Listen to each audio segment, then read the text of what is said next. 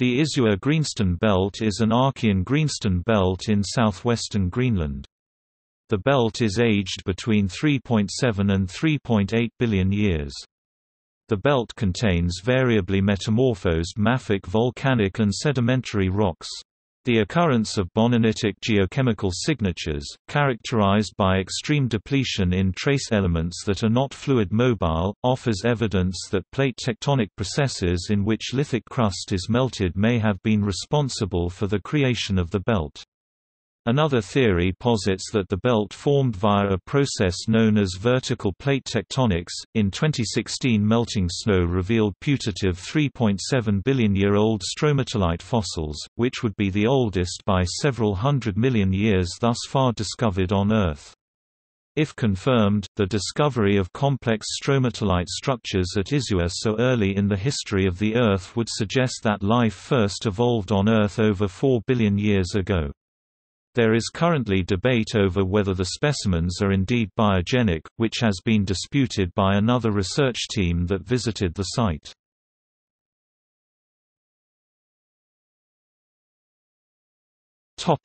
Overview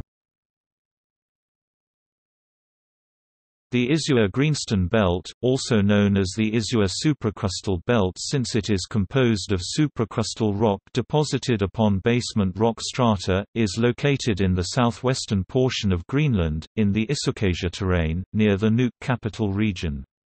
The Greenstone Belt is made up of metamorphosed mafic volcanic and sedimentary rocks that are usually juxtaposed by mylonites or fault boundaries.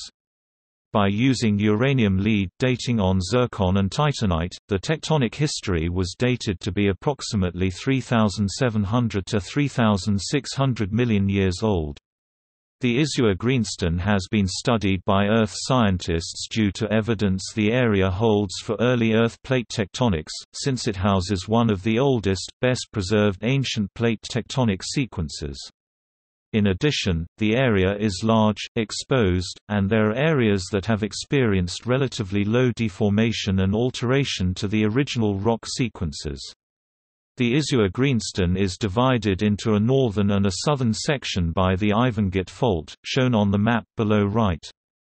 The northern area of the Isua Greenstone Belt is mainly composed of amphibolite rocks, volcanic rocks, upper mantle peridotite, and layered gabbros, a suite which suggests crustal shortening. Scientists have used different methods to determine how the Isua Greenstone Belt formed. Some conclude that it formed at an ancient ocean-ocean convergent zone, where subduction caused partial melting and metasomatism of the mantle as well as the intrusion of tonalites partially melted the overlying supracrustal rocks and created the first continental crust. However, the geological evolution of the Isua Greenstone belt remains controversial, as scientists try to come to a consensus on how it formed, whether due to such a subduction zone or to some other former process like vertical plate tectonics. Ultimately, a specific conclusion of how the Isua Greenstone belt formed has not been reached, but some pieces of the puzzle have been proposed.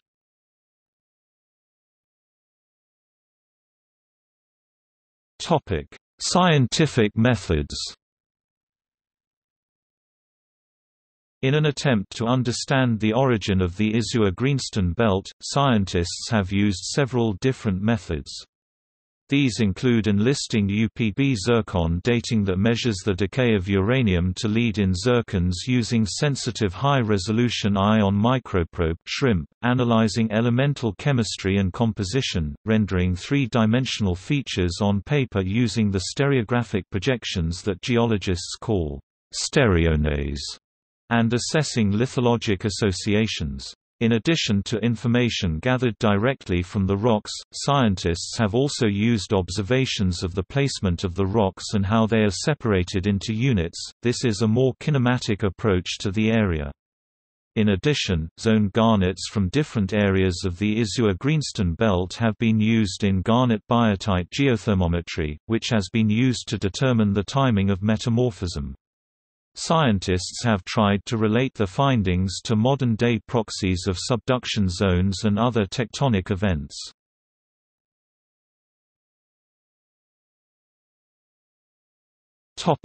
Lithologies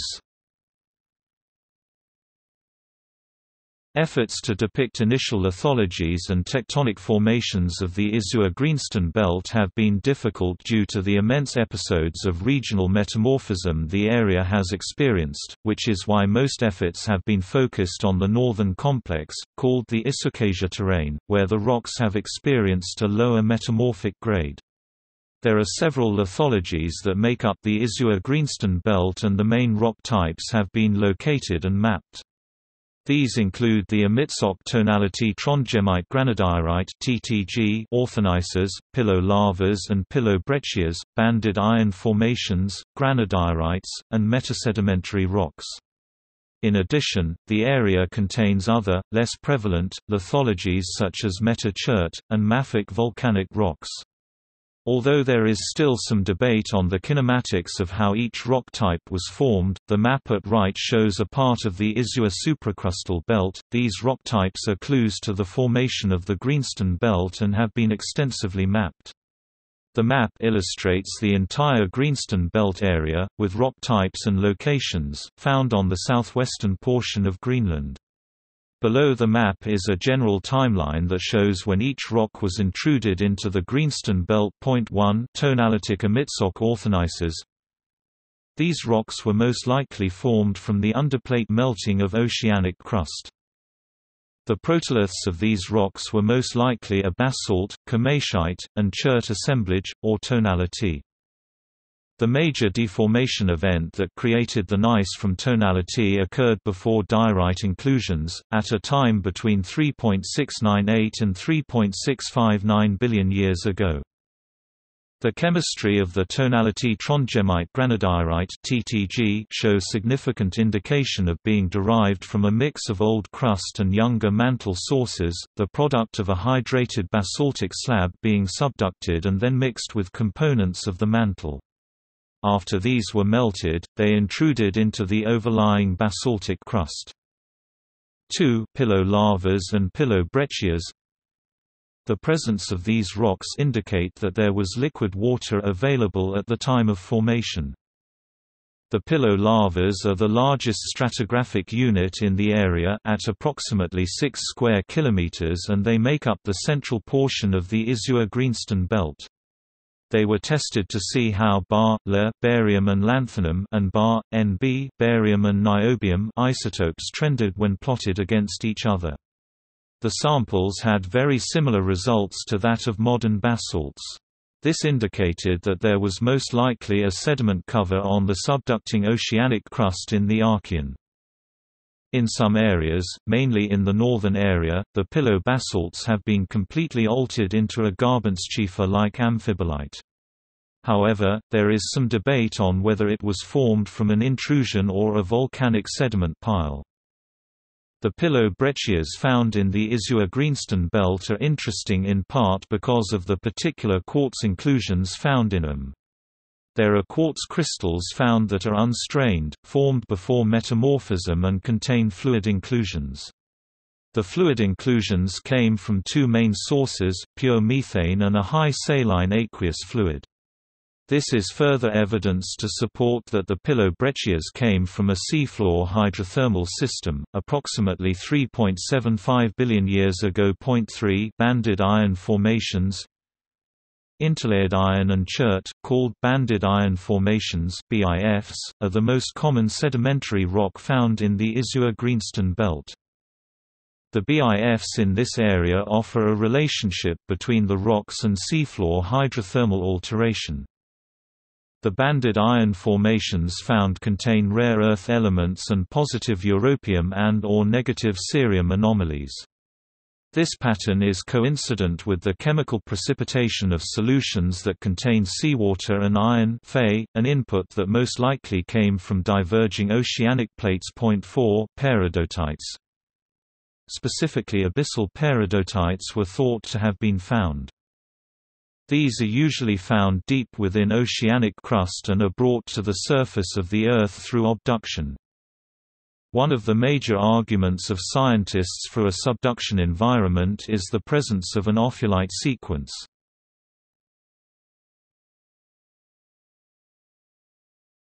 Topic: Tectonics The Isua-Greenstone belt offers up some complications because of the tectonics that have occurred in the area.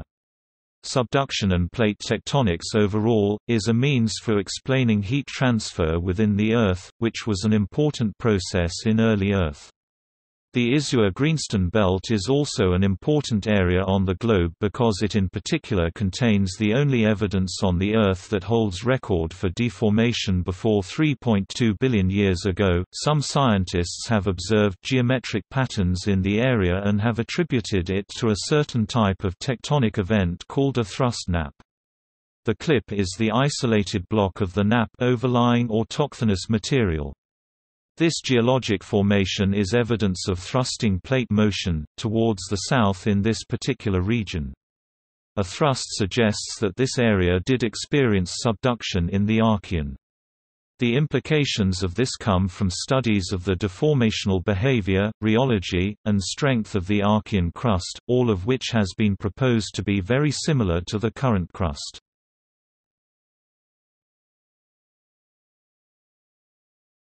Topic: Metamorphism. Evidence from zoned garnets can give insight into the metamorphic history of an area. What one scientist found was that there were three main episodes of garnet growth in the Isua-Greenstone belt, meaning there were three main metamorphic events. Specifically, the garnets were studied in terms of overgrowth patterns using iron-magnesium-rich rim, manganese-rich cores, then by a calcium-rich rims and cores. In addition, the presence of these overgrowths and their oscillatory zoned nature leads scientists to believe that the metamorphism occurred due to fluid-like metasomatism. Manganese is suggestive of prograde metamorphism. Overall it has been suggested that there were three metamorphic events, occurring 3.74 billion years ago, 3.69 billion years ago, and at 2.8 billion years ago.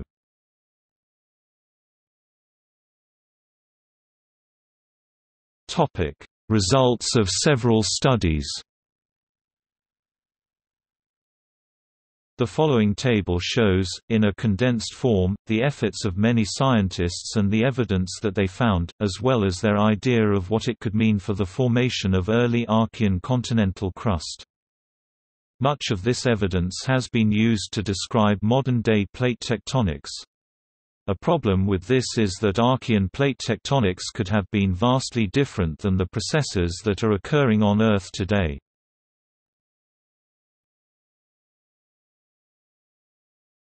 Topic: Proposed origin of continental crust. The easiest way to think about the Isua-Greenstone belt is in two parts, a north and a south which are broken up by a fault. The northern terrain is dominated by tonalites and is the least metamorphosed section. It also contains zircon ages of approximately 3,710 to 3,690 million years old. The southern portion of the Isua-Greenstone belt contains approximately 3900-3810 million-year-old zircons with an abundance of amphibolite, schist, carbonate rock, volcanics, pillow lavas, and ultramafics. The northern portion makes up the area where many scientific studies have been conducted and offers up the evidence leading scientists to propose the following hypothesis.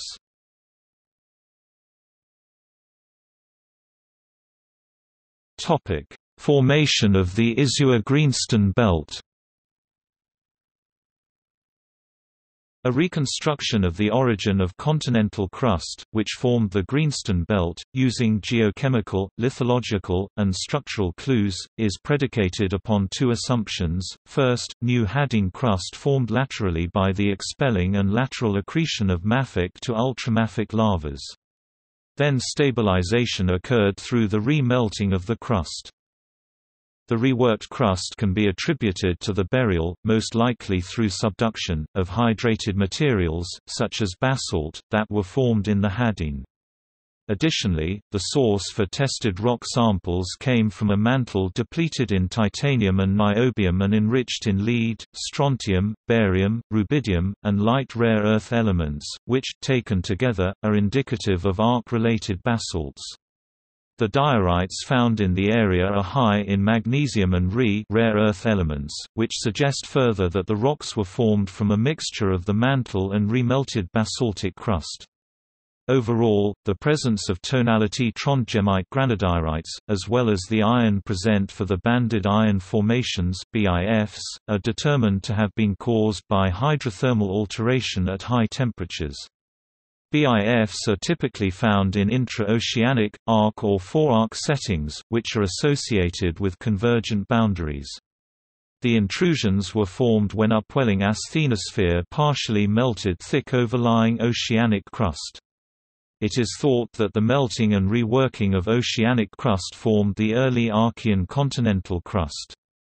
In addition, the eclogite residues, formed by the partial melting of the oceanic crust, subsequently became a part of the sub-continental lithospheric mantle.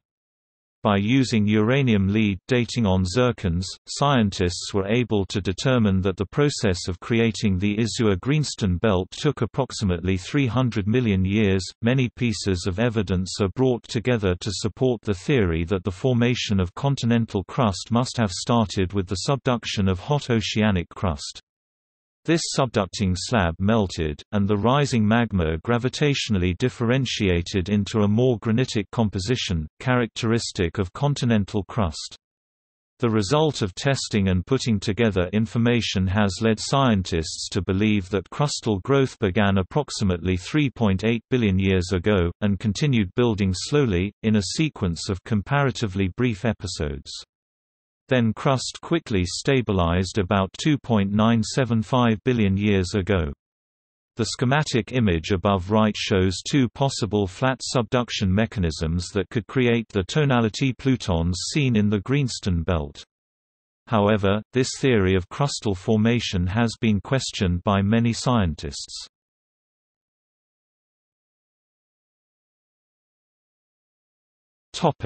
Controversies In the scientific community, studies are still being conducted that hope to solve the big question of the Isua-Greenstone belt, what processes caused its formation. This area remains under controversy in the scientific community because it is arguable that there were different tectonic processes, or styles, occurring in Archean times that would have affected the outcome of what we see today, a mass of very old rocks surrounded by younger rocks that have been heavily altered in some areas and are separated by tectonic and depositional contacts. The Isua-Greenstone belt is the only place in the world that does not conform entirely to the idea of vertical plate tectonics an idea that is still debated. Some of the problems are There are few zircons available for dating. Deformation in the area has destroyed important information. The isotopic chemistry is known, but is only attributed to current-day proxies, which may have been different in the Archean. There is very little preserved mafic crust from the Archean.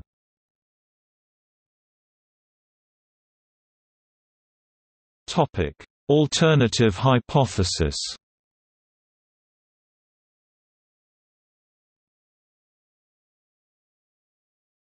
Topic Vertical plate tectonics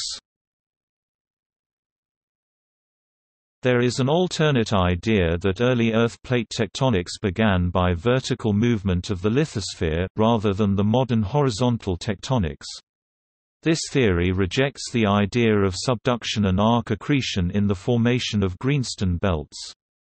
It suggests that convective overturn due to density differences between the overlying mafic sequence greenstone and partially molten granitic middle crust is responsible for the observed formations.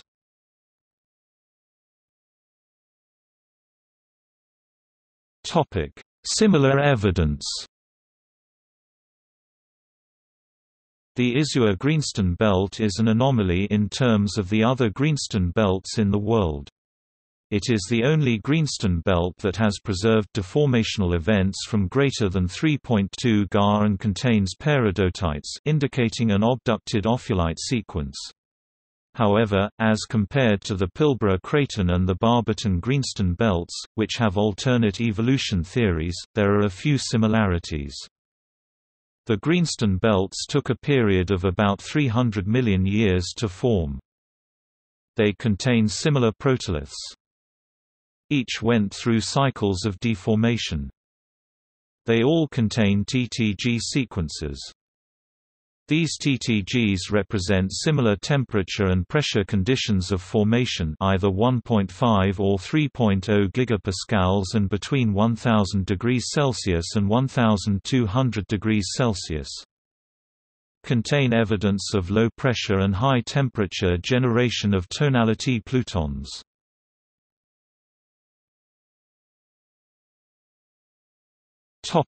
Evidence for both situations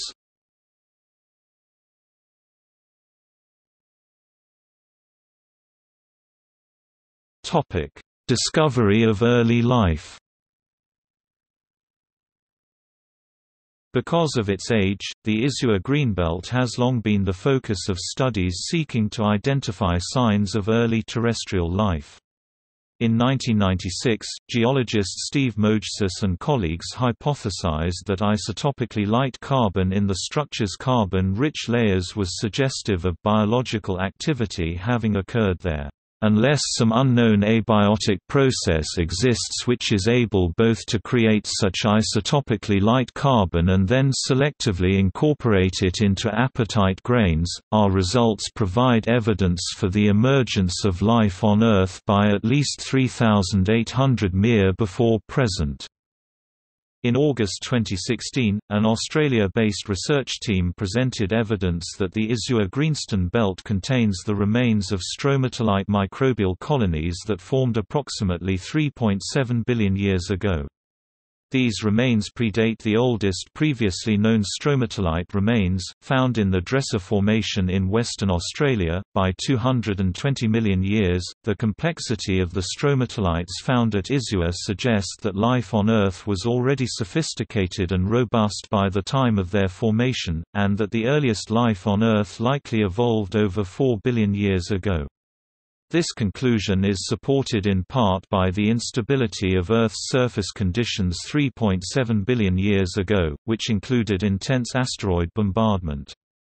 The formation and preservation of fossils from this period indicate that life evolved early and prolifically in Earth's history. The stromatolite fossils appear wavy and dome-shaped, are typically 1 to 4 centimeters (0.4 to 1.6 in) high, and were found in iron and magnesium-rich dolomites that had recently been exposed by melting snow. The surrounding rocks suggest that the stromatolites lived and were deposited in a shallow marine environment. While most rocks in the Isua Greenstone belt are too metamorphically altered to preserve fossils, the area of stromatolite discovery has preserved original sedimentary rocks, and the fossils inside them, the ISB sedimentary layers containing the stromatolites overlay volcanic rocks that are dated to 3.709 billion years old, and are capped by dolomite sediments and banded iron formations with thorium-uranium zircons dated to 3.695 plus or or minus 0.4 billion years old. All layers, including those bordering the stromatolites, experienced metamorphism and deformation after deposition, and temperatures not exceeding 550 degrees Celsius (1000 degrees Fahrenheit). The identity of the ISB features as stromatolites is controversial because similar features may form through non-biological processes. However, apparent sand accumulation against the sides of the putative stromatolites during their formation suggest that observed, dome-like features arose during the sedimentary process, and not through later, metamorphic deformation.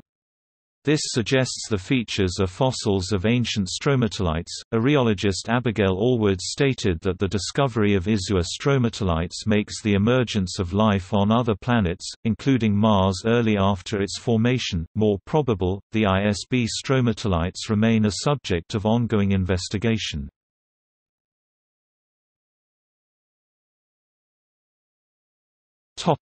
See also Archean subduction. Nuvvuagittuq Greenstone belt